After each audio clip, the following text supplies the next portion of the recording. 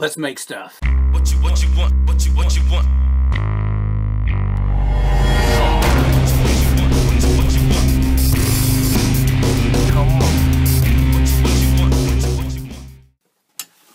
All right, so before I really get going with this thing, uh, got to give a huge shout out to Hollywood Haunters. They're the ones they did a like a moldy pumpkin video tutorial. Some of them were rotten looking with mold and things like that, and they used uh, a couple different styles of pumpkins. Ones were cheap ones, cheap foam ones from the dollar store, and some were for like a little more expensive ones from Michaels and stuff, and then like these garage style find old pumpkins that would have had lights in the bottom of them and gone on. Anyway, they took and carved some different faces into those things and changed them up and, and painted them and stuff. It was a great idea. Loved it. I've had these things sitting around for a long time, so I was like, you know what? I want to do something uh, along those same lines, except on these, I am going to carve the faces out a little bit different, but then we're just going to use uh, cotton and mache paste and then do a corpse method over the tops of these pumpkins once we carve the faces and stuff out on them and then repaint them and all that change them up so basically we're going to take old pumpkin. You can find them at yard sales or you got some at home these were real popular years ago. We're going to just take these. These are old. They're actually broke apart. I re-glued them back together change the faces up and give them a whole new look and then give them a paint job. Should be pretty straightforward. Alright, so the first thing I'm going to do is just figure out uh, what I want to change this to make the faces a little bit different. Anyway, I'm going to go ahead and draw, do an outline around the mouth and the areas I want to take out on these eyes. Maybe I'll make these eyes a little bit bigger like that. Who knows? But uh, I'm going to play with those designs for each pumpkin and then uh, we'll start cutting them out.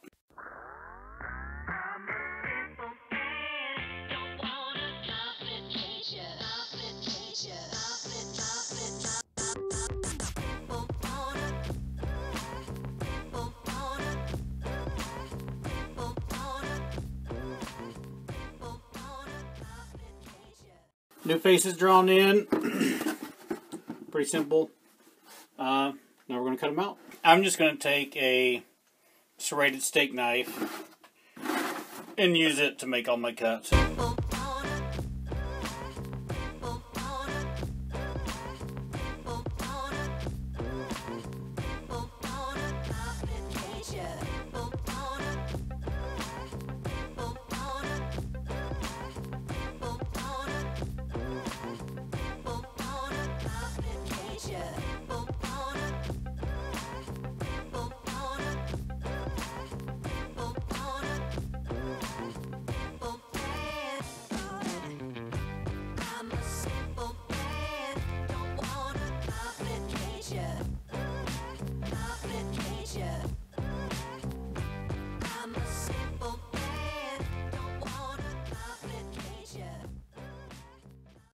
Am going to go ahead, I'm going to take a Dremel though with the sanding pad. I'm going to kind of clean a few of these edges up on this. Not too concerned with this one except for maybe this edge through here and here on the side of the mouth. And then we're going to start corpsing these things. Yeah. Hang on.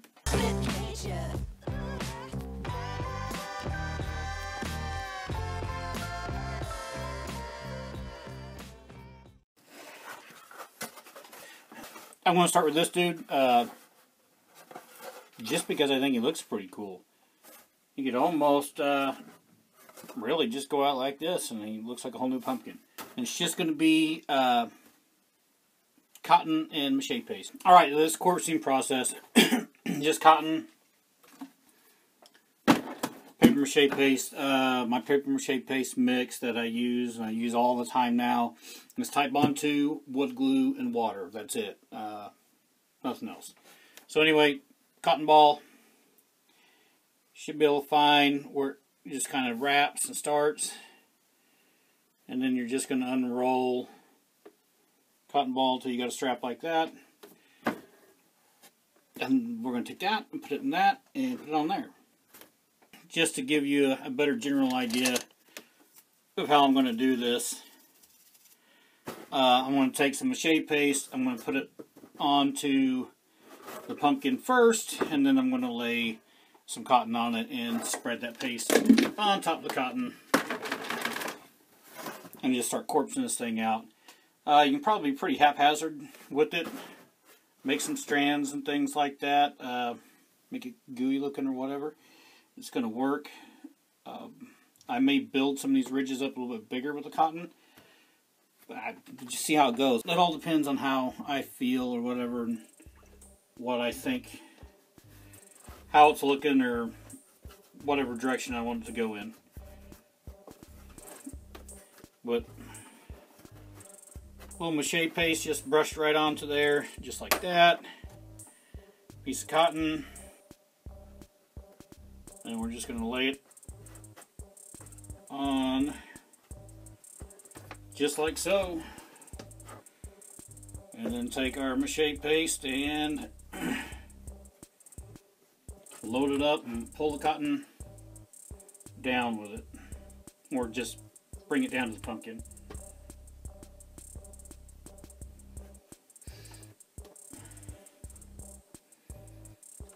All pretty simple. You can do you can do a lot with the cotton. You can make raised edges by not having putting so much pressure on it and just feeding it the mache paste and letting it soak in. Uh, you can flatten the stuff out and make it way more uh, I mean, you just, you just basically just flatten the stuff out if you want to flatten it out raise it up. Just all depends on how much pressure you're going to leave on it. I think some of that cotton, like right here, I think I'll leave a few of those strands hanging down in the mouth. It's kind of neat looking. Get a little mache paste on them and let them harden up. They'll still take paint. They'll look fine, but yeah, this is how I'm going to do it. I'm going to speed it up and we'll corpse this thing.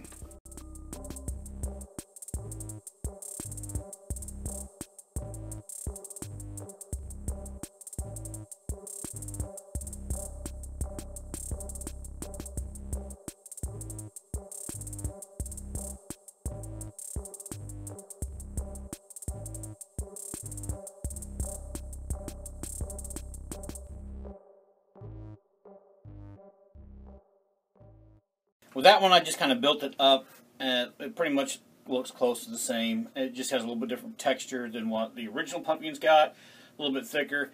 But I think with this one, as I spread the cotton and stuff on this, I may try to go ahead and pull it apart and just make some kind of funky looking texture where it's just kind of torn or whatever. Again, this we're going to bring the mouth together where like it's pulling apart. I'm just going to have some fun with this one and try a few new things and see um, what happens whenever I uh, put the cotton corpsing over this. It may be really cool, and it may uh, it may look terrible, but uh, we're going to find out.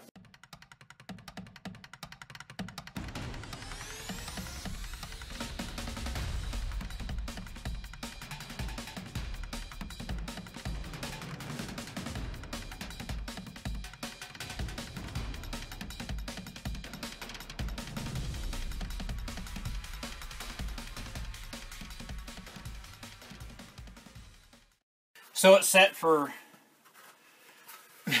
honestly, it's set for a long time. It's uh, really dried out. But you can see everything's really kind of that cotton soaked up all that glue and it's really shrank down. Uh, you can probably go ahead and paint this. It's going to turn out just fine. It'll look good for you. Uh, and actually look better than what it did as the original pumpkin. But we're going to, I'm going to go ahead and layer it up one more time just bulk it out a little bit more and go from there.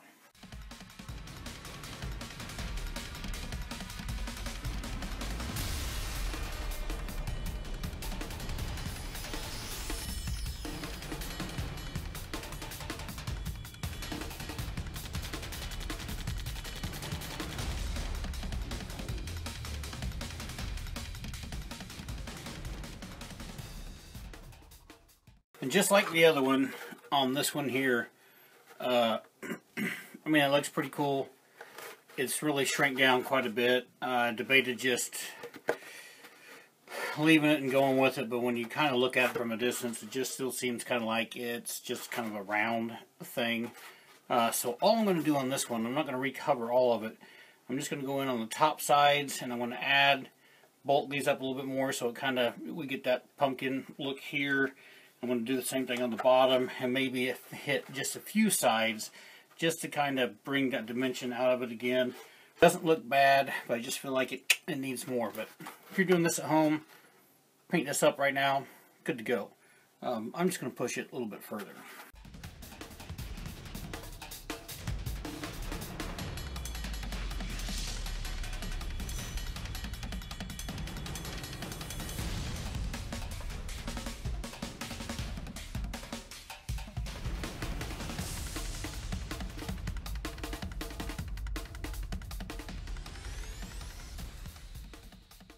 Alright, so our uh, garage sale style pumpkins have been uh, pretty well updated. Doesn't look too bad. Looks better than, well, quite a bit better than what they did. Uh, you know, stock.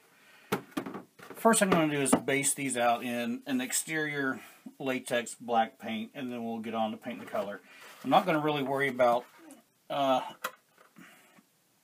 on my mache projects, I would generally water seal this first, then paint it and water seal it again. But the fact that this has got this hard foam back into it, because we started with the foam pumpkin, and then this is uh, basically cotton balls. I'm not going to worry about it. It shouldn't break down. It should be just fine. So I'm going to uh, give this a base coat of black exterior latex paint, and then go from there.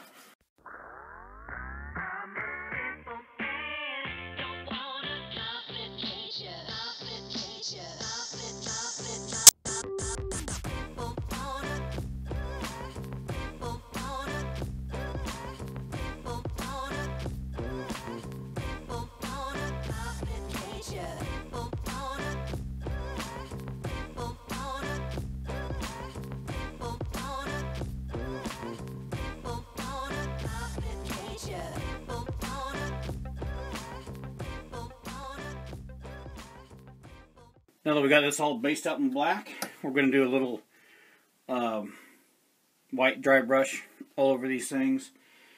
Uh, that will give me the option for, if I just want to use a watered down orange kind of stain and make things come out, I can go ahead and do that. Or we can go through a more extensive painting process, just depending on how I feel. But we're going to go ahead and knock this out anyway. So we got both pumpkins. They're both uh, dry brush with some primer. I think I'm going to go ahead and do this um, relatively the easy way. I'm going to make a wash. And basically a wash is just going to be my acrylic paints and they're going to be watered down to thin them out and just wash it basically all over it and let it dry out. Um, I'm going to mix a little, I always, any of my pumpkins when I start them I always do a little bit of brown and orange to get darker, dirtier orange color, and that's kind of my base. And then after I do this wash, I might come through with some, uh, just some straight orange and highlight some of these areas, make them a little bit brighter. And I may go ahead and hit it with some yellow dry brush as well. Um, we'll see. That's how I'm going to do this one. We're going to do the wash on this one too. But some of these areas like this, uh, we may do some painting to make it look uh, rotted. We'll figure that out after we get some paint on this thing, but let's take care of this one first.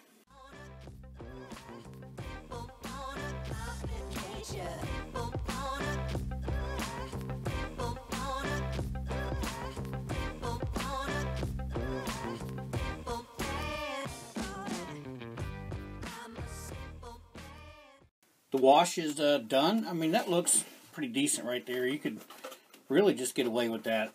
It's not a bad look at all. Um, but I'm going to go ahead and go with just some straight orange and do a little highlighting around this whole thing. I'm going to do it to the other one too. and we'll get a look at that. Maybe we'll do a little more with some yellows and stuff. But uh, right now, I'm just playing around, having fun, and really, when you're doing it, just I mean, yeah, just have fun because what's the worst thing that can happen? You're going to have to repaint it. It's not really that big of a deal. So, uh, yeah, let's do some highlights.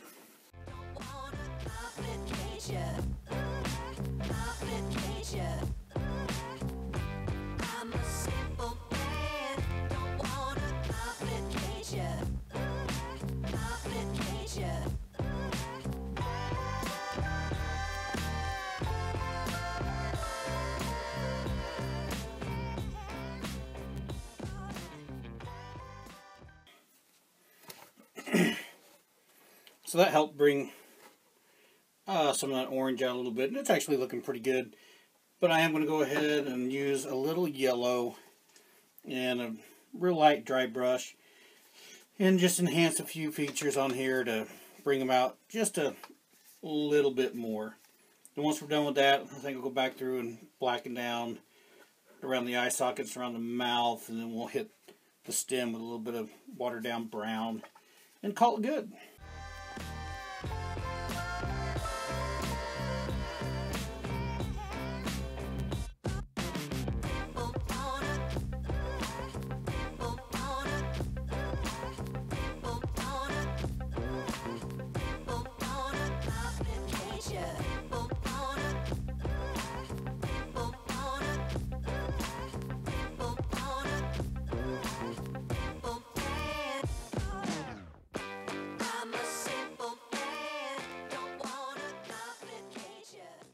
I know it's so hard to tell with this camera and the lighting and all that, but that yellow, you know, we got some yellow highlighting in here, here, you know, it just brings a little bit extra.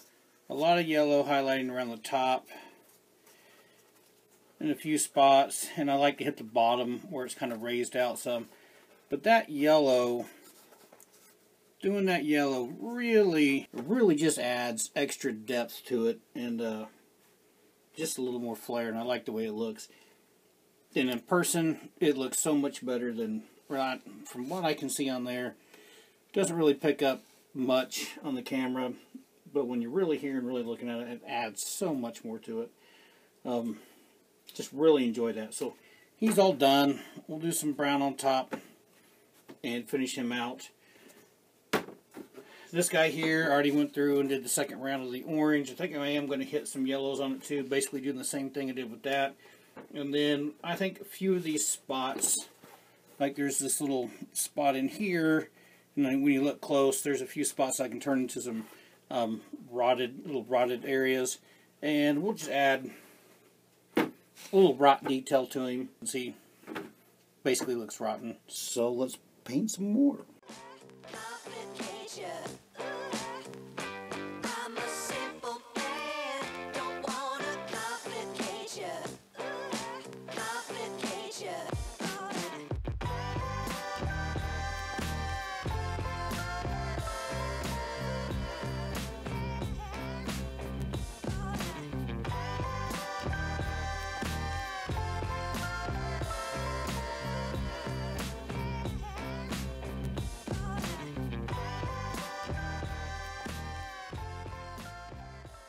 So put a little black in around all this stuff. It helps highlight it out. Sometimes I'm torn. Sometimes I think um, when there is a little bit of orange on there, it's a little more realistic, but whatever. Uh, I did go ahead and do some brown on here. I'm going to go ahead and take some lighter brown and just do some highlights on the stem there. I'm going to do the same thing with this one. I already went ahead and did the yellow on this as well. Um, once I get the stems done, we'll see about making some rotten spots on this one.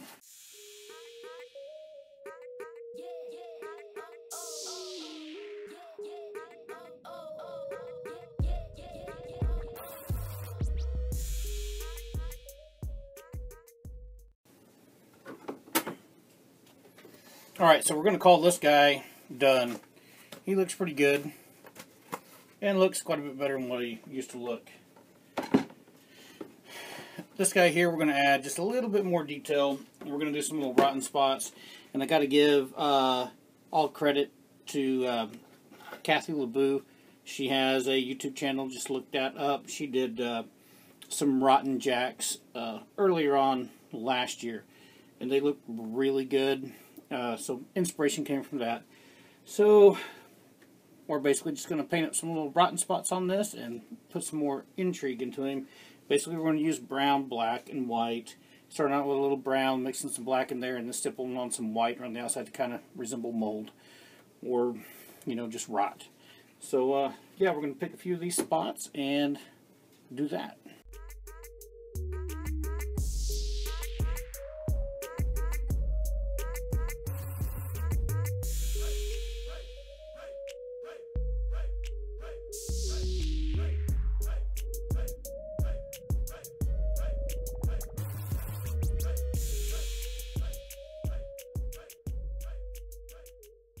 And there you go. That's pretty much quick and easy way to throw together some pumpkins or actually, you know, to redo some older garage find, garage sale pumpkins that you had laying around and give them your own looks, you know, their own characters, something that you just can't find in the store all the time.